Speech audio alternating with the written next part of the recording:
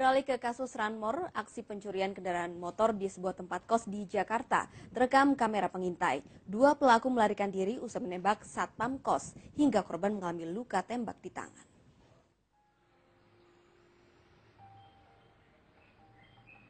Aksi pencurian sepeda motor di sebuah tempat kos di Jakarta terekam kamera pengintai. Kasus ini terjadi di kawasan Taman Sari, Jakarta Barat, Senin dini hari.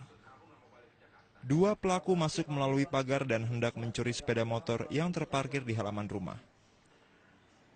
Naas, aksi pencurian gagal lantaran dilihat satpam kos. Lantaran panik, salah seorang pelaku melepaskan tembakan hingga melukai tangan korban. Kejadiannya jam 4 lewat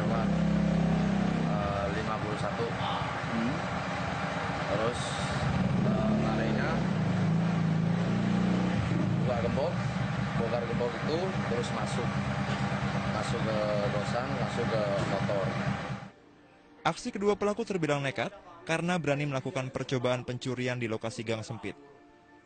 Meski berhasil mengidentifikasi kedua pelaku, polisi belum mengetahui jenis senjata api yang digunakan. Saat ini korban luka tembak masih dirawat di Rumah Sakit Husada, Jakarta Barat. Petugas Satreskrim Polres Jakarta Barat juga masih memburu kedua pelaku. Dari Jakarta, Miftahul Gani memberitakan.